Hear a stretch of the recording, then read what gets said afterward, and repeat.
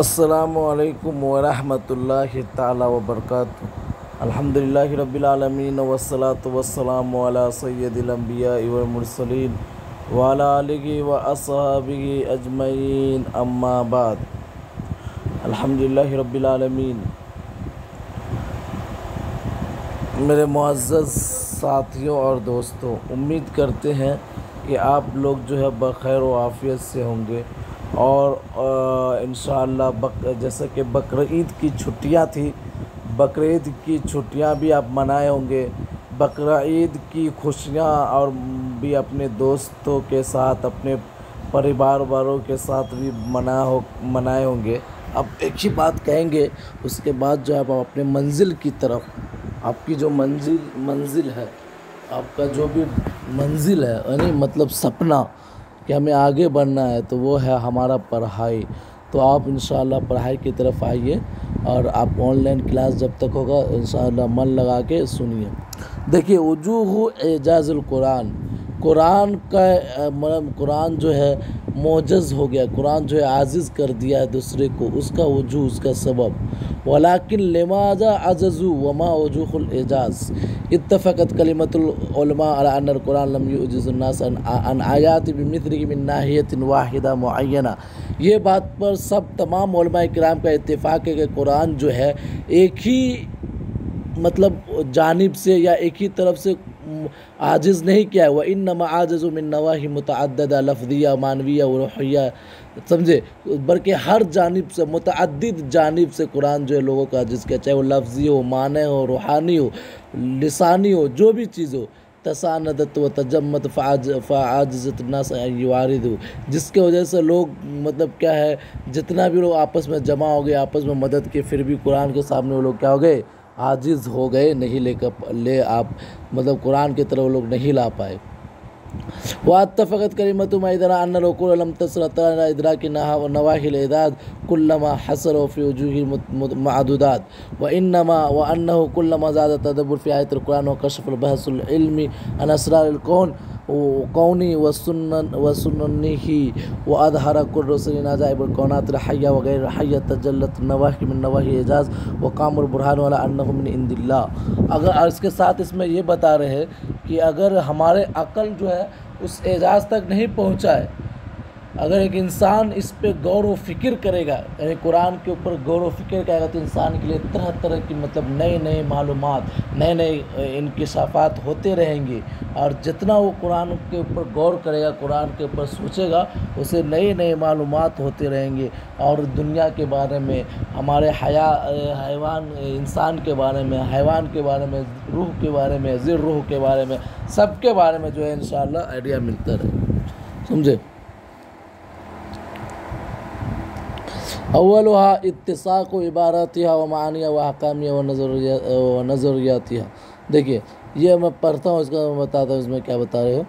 तकवन कुरान मिन सित्तत आलाफ आया व अबर माकस तबीर अम्मा अनो बेबारत मुतनव्वा व आसार बिशत व तुर्क मौदूद मुतद एतकादिया व खलकिया व तशरिया वकर नदरियत कसीरा कौनिया व इजतमाइया व विजदानिया वला तजद फ़ी इबारत या इख्तलाफ बैन बाद व बाद इसमें कह रहे कि कुरान जो है छः हज़ार आयत से मिला हुआ है और उसमें जो है बहुत तरह बहुत से अलग अलग मतलब तरीक़ों से मतलब ताबीर की गई है। अलग अलग मौजूद पे बहुत से मौजूद चाहे वो एतकादी हो तशरी हो हमारा अखलाक के मुताबिक हो, हमारा रूह के मुताबिक हो, चाहे वो सोसाइटी के लिए हो, चाहे हमारे वजूद के लिए हो, सब पे जो है मतलब क्या है, या दुनिया के ऊपर हो कौन आलम के ऊपर हो, सब पे क्या है मतलब कुरान जो है बहस की गई है। ओके?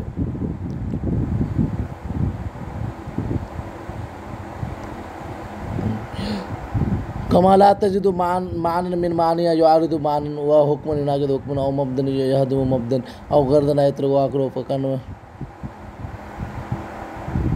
हाँ इसमें क्या बोलेगा, कुरान में तुम जितना भी माने पाओगे, जितना भी हुक्म पा, को जितना भी मतलब गर्ज होगा, वो आपस में एक दूसरे का नक्ज या दूसरे का मुखालिफ नहीं होगा। समझे? क्योंकि कुरान, क्योंकि ये कुरान जो है अल्लाह तबारक तारा के पास है इसमें कोई भी किसी भी तरह का का है कोई भी मुआरज नहीं होगा। ले अनल अकला, क्योंकि अकल जो है, ला अकल इंसान महमा नदत व कमुल लायुकबिन सिद्दत आलाफ आयतन फ़ी सलात वसरीन नसरत ला तख्तरफ मिना अनोखरा फ़ी मुस्तवी बलागत या कह रहे कि इंसान का अकल चाहे जितना भी पक जाए, जितना भी कामिल हो जाए, लेकिन छः हज़ार आयत को ये तेईस साल में हरगिज़ क्या नहीं समा सकता है। वला तो आयत तो बिना तो ओखरा फिर मुश्तमर तरह वला हादर रो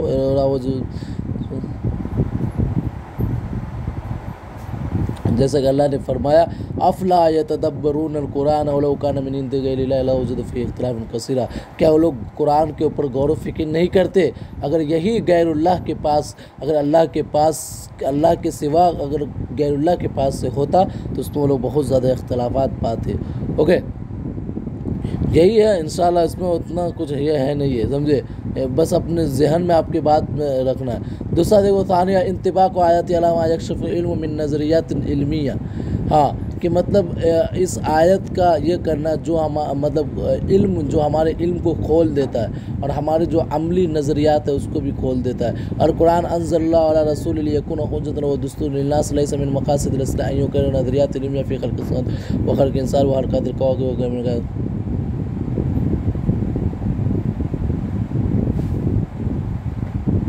और इसमें कह रहा है कि अल्लाह तबारक व ताली जो है कुरान को आप वसल्लम पे नाजिर किया सिर्फ़ क्या है? हजत होने के लिए, लोगों का एक दस्तूर होने के लिए।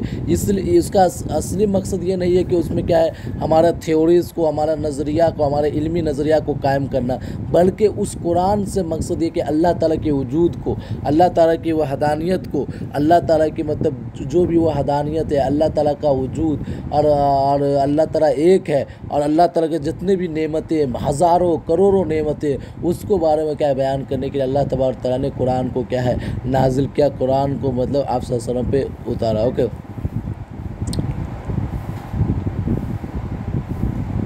और इससे यह भी मालूम होता है कि बेशक ये जो है, अल्लाह तबारक तारा के पास ये कुरान है, ओके?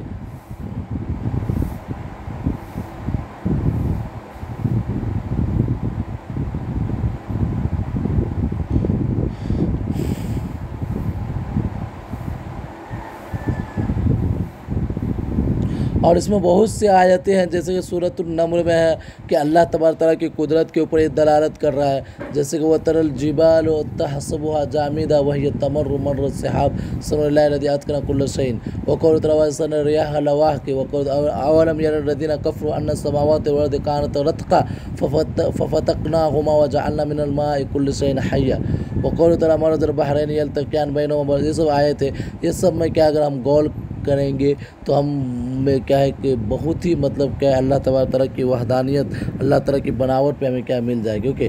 नेक्स्ट अखबार हो बेवका बेवक़ालमगयूब हाँ और ऐसे, ऐसी बातें का खबर देना जो सिर्फ़ अल्लामुलगयूब जानता है। अकबर कुरान कोई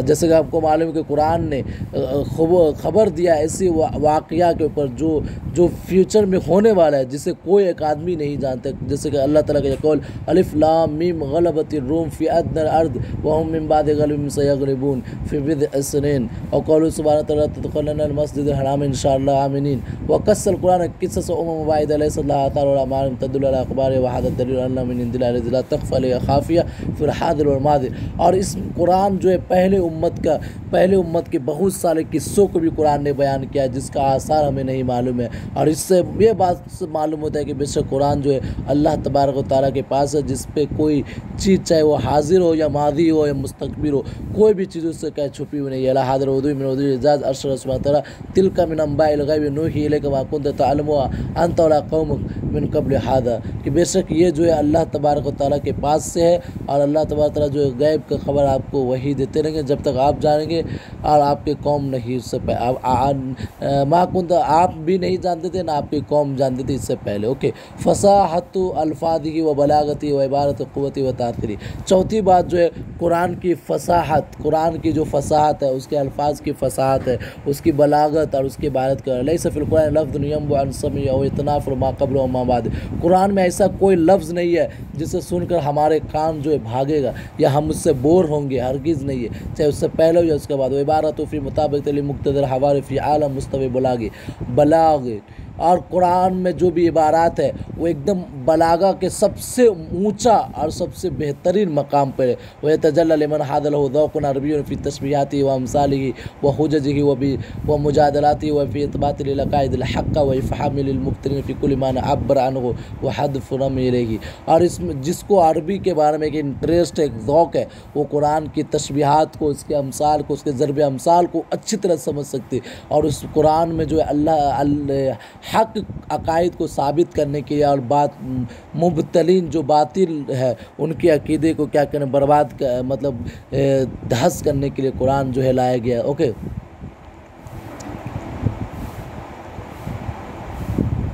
जिस तरह इमाम जो जमकशरी अपनी किताब कशाफ में और अब्दुल काहिल जो है आ, किताब दलाइजाज़ में असरार बलागा तकफ़ल बयान कसरी में नजुल फसात और बलागत फ़ायदुल्कुरान उन्होंने, उन दोनों ने कुरान के बहुत से फसाहत और बलागत के वज़ू को बयान किया वम्मा क़वत तासर फ़ी नफूसी व सुल्तान रूह अलकलूब और उसकी तासर जो हमारे नफ्स में और हमारे दिलों में जाके पहुँचती है। फ़ादा यशर भी दी वजदान व हसबन बुरहान समा वला तुबल जिद्दत।